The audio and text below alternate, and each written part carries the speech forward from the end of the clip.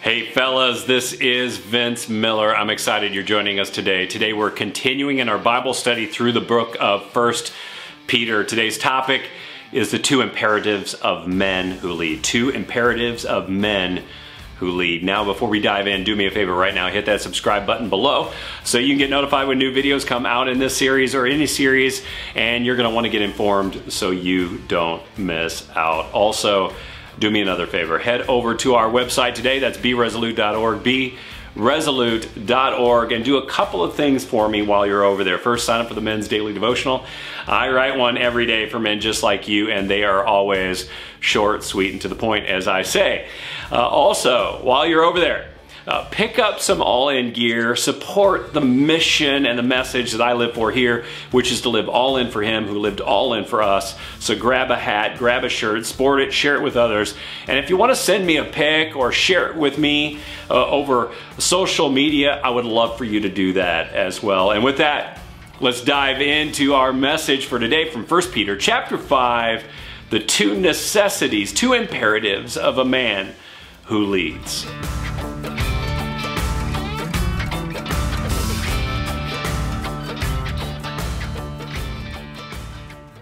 Now, fellas, do you remember your first leadership experience? you know, there's nothing better than that very first leadership experience to show us what leadership is really all about. I don't know if you remember yours, but I remember mine. As a kid, I volunteered a lot a lot. In fact, between the ages of 13 to 15, I invested about three summers of volunteer time at a local community center. doing community-based sports programming. And one of the first programs I led was a community-based soccer program for kids. I remember the volunteer coordinator threw me into the role because I was really the only volunteer she had who ever played any kind of sport. But the problem was this, I knew very little about soccer. soccer was a fairly new sport at the time in California when I was growing up, but kids were quickly, quickly growing very interested in soccer. So I had to hold practices for low income kids between the ages of 10 to 14 on a high school grounds all throughout the summer. And honestly, I had no idea what I was supposed to do. And worse, neither did the coordinator. So she just kind of let me run loose. And I quickly discovered that I needed a game plan for the 20 to 25 kids who were getting dropped off by parents three days a week for about two months of the summer. and it was in the heat of these moments that my leadership was forged. I was essentially thrown into the deep end of the pool with a couple of dozen hard to lead kids and had to come up with a programming for them for three days every week. And this was all before cell phones and email and YouTube. It was even before books for dummies came out. So off I went, learning about leadership in more ways than one. And this is where most of us learn how to lead. Not in a classroom and not from a book, but in real life experiences, right? And because experience is the best teacher, we really don't think much about leadership until we're forced to lead until we're like maybe off on our own, until we've gotten our first job or gotten that first apartment or until we get married, have kids, start a business or get promoted into that first middle management position, right? Thus, until then, we may not think much about leadership, if at all. But when we're in the throes of leadership, we become a lot more concerned about what to do. And this is what I love about Peter. Peter writes this book while he's in the throes of his leadership. He went from follower to literally a leader overnight after the death and resurrection of Jesus, just like we do. And he became one of the most influential leaders in the first century in probably one of the most critical places on planet Earth. But even though Peter didn't know he was going to get such a big leadership challenge and thrown into the deep in the pool, Jesus did, right? Jesus knew that Peter was going to be uh, leading from the very start. In fact, Jesus knew it when he first glanced at Peter. Listen to this from John chapter 1, verse 42. Here's what it says in this text. It's profound. Andrew brought Peter to Jesus. Jesus looked at him and said, You are Simon, the son of John. You shall be called Cephas, which means Peter, or it means rock. Now, literally, Jesus renames this guy on the spot because he knows the leadership challenges he was going to face. He calls him the rock, that he would eventually become the rock of the church, one of the first key leaders in the earliest church, the first church of all time, and the greatest church in the greatest city of Jerusalem. But to be a great leader, we need not only a leadership experience, we have to be the student of great leaders, right? And if that's the case, Peter followed one of the greatest leaders of all time. and in doing so, he learned how to be a great leader. But now, as Jerusalem's first pastor, he's getting to do it. And I bet the combo of watching Jesus lead and then getting to do it resulted in some great learnings. In fact, at the close of chapter 5, we get to see two simple principles, imperatives, I'm calling them, about leadership that he has learned and he's applying in his present context. I have called them today the two imperatives for men who lead. Two imperatives for men who lead. Imperative number one is this the way you lead matters. The way you lead matters. Listen to what Peter says at the end of 1 Peter in chapter 5. Listen to this text. He says, Shepherd the flock of God that is among you, exercising oversight not under compulsion, but willingly, as God would have you, not for shameful gain, but eagerly, not domineering over those in your charge, but being examples to the flock. Now, these two short verses are the leadership maxim of Peter. They are his, I would call it his guiding leadership philosophy.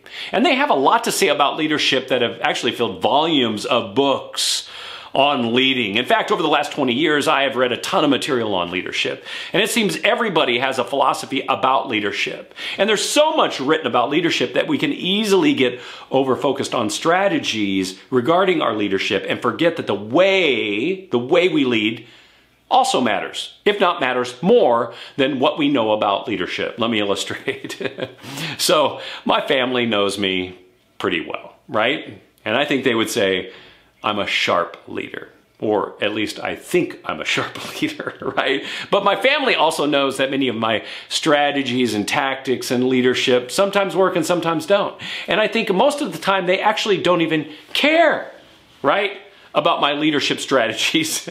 they care far more about the way I lead over what I know or even the strategies that I deploy. Because it's the way I lead that makes all the difference to them. And why? Because they want to know that I care about them more than what I'm trying to get done. They want to know that I have their best interest in mind rather than just being concerned about some end result. And this has tested my leadership in my home and to the core. In fact, I think one of the most pivotal words in this text by Peter is the leadership word shepherd here. It's the word shepherd. It's used intentionally here as a descriptive word. Did you notice that? It's not a noun, but it's a verb. And I believe this verb shepherd and the activity of shepherding held special importance for Peter. And here's why. Now, some of you may recall Peter's threefold denial about his relationship with Jesus, right? And I have to believe that he perceived this denial, this threefold denial, as perhaps his most devastating leadership fail. It had to be emotionally catastrophic, mainly because after the fact, he has a lot of hesitation about re engaging his call to ministry. As a result, we find he's back to his previous profession, fishing for fish, instead of engaged in ministry and fishing for men. Maybe he felt like his failure to stand up for Christ disqualified him from actually leading. Yet Jesus meets him back on the shore of the Sea of Galilee after his resurrection, right where he found him the first time. Literally, right where he found him. It's here that Jesus commands Peter three times to do what? To shepherd the flock of God. He tells him to get back after it, to get back into the game, to leave fishing for fish behind again.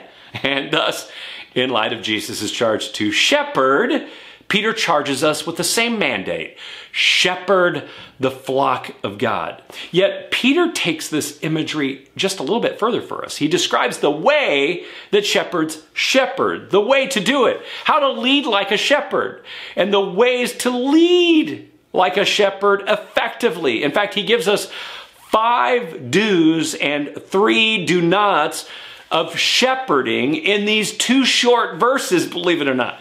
Here's what he says Five ways to shepherd. Do lead by giving oversight.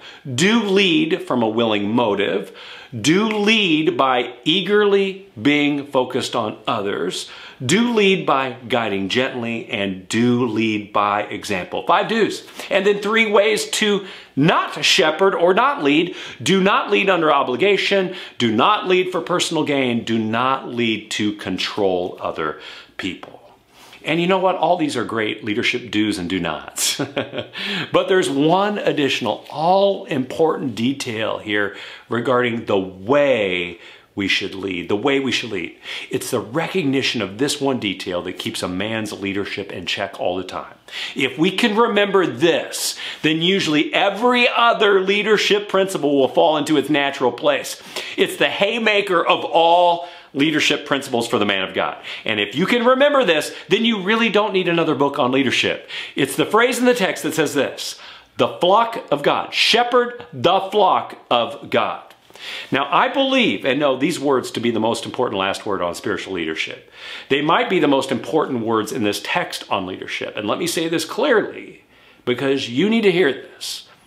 The flock is not yours, it's God's.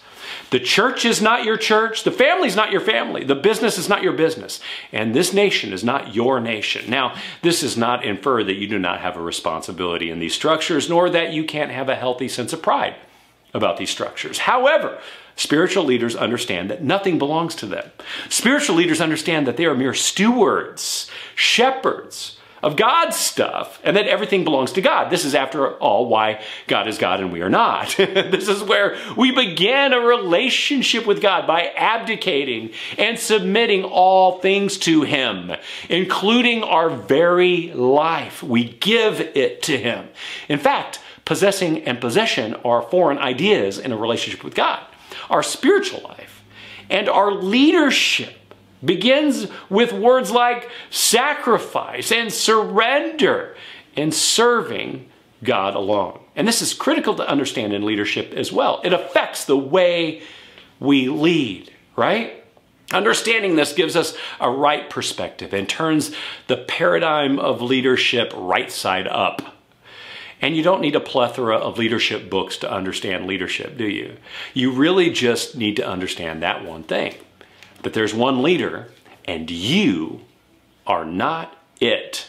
However, however, from time to time, God is going to allow you to steward something, maybe a church, maybe a family, maybe a business, and with this comes a test.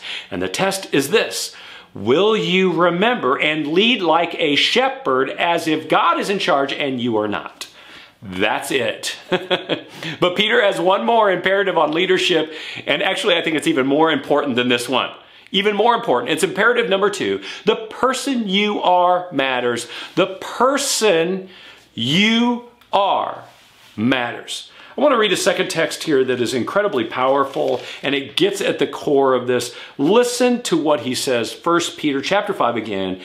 Peter says this. He says, "Clothe yourselves, all of you, with humility toward one another, for God opposes the proud, but gives grace to who?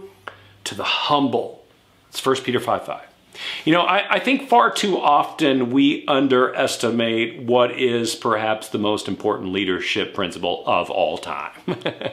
and the most important leadership principle of all time is the ability to lead the one person that is the most challenging to lead. That's you. This principle, again, is one of those core principles of leadership. You cannot lead others if you cannot lead yourself. If you cannot lead yourself, then maybe you shouldn't lead. And I think this is why the New Testament has one of those really those chief prerequisites around leadership in the church. And the chief prerequisite is this is that you have a proven ability to lead at home. and why? Because at home, leadership demands leadership of self. Because at home, you cannot hide behind your, your tactics, right? Your strategies, your programs, and your plans like you can at work. At home, people know who you really are, and they know the truth about your character and your prideful tendencies. And if you cannot lead there, then you probably have not mastered leadership. Why? Well, because self leadership qualifies and legitimizes your leadership. And I love here that Peter draws attention to the chief issue in all of the leadership of ourselves. Self leadership. It's this one issue it's pride. Pride is the leader's primary self leadership challenge. It's a character challenge that's never going to go away, fellas. It's a challenge that we must contest with every single day. And I think this is why Peter says we need to clothe ourselves in humility, right? Because we need to wake up daily and practice dressing ourselves in humility because it's easy to dress ourselves in pride, right? Gentlemen, you have to admit, the human condition in men is deceptively arrogant and prideful, is it not? Knowing and understanding this, we must daily contend with the way that we each manifest pride. You have your ways that you manifest pride, right? And I have mine. Yet we have the same challenge with pride nonetheless. Therefore, daily as leaders, we need to dress differently than those who are proud. Peter says we should clothe ourselves in what? Humility. And we should do it daily. We need to wake up and dress for the day. And what do great leaders put on? Well, they put on humility and they do it by doing two quick things every single day. They take a couple of moments to become aware of their pride and regulate their pride. Aware of their pride and regulate their pride. This is what some of the greatest leaders I know do super well. They draw a circle around themselves and focus on leading everything inside of that circle with excellence, including the devious and deceptive issues that they have with their own pride. And they realize that tactics and strategies and programs and policies and plans are nice tools, but useless for the leader who cannot lead themselves and thus become a proud, arrogant mess, right? We have enough of those leaders in our world today.